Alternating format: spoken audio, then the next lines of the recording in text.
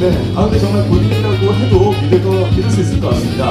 아 은진원 씨는요 재력, 외모, 카리스마 성격에 여기 더해서 모든 성인물을 지니고 있어서 남학생들의 존경을 한 몸에 받는 가운데 계신 기자님께도 포즈를 부탁드리겠습니다. 자 마지막으로 오른쪽 끝에 계신 기자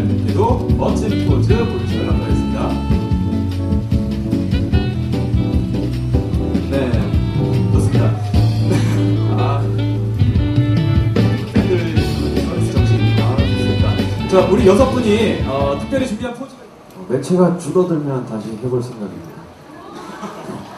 워낙 요즘 화질도 좋아지고요.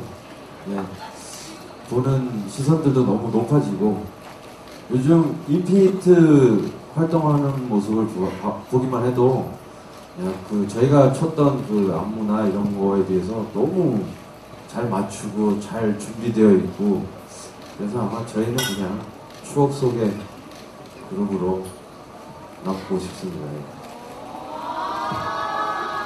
왜? 나오면 주책이야.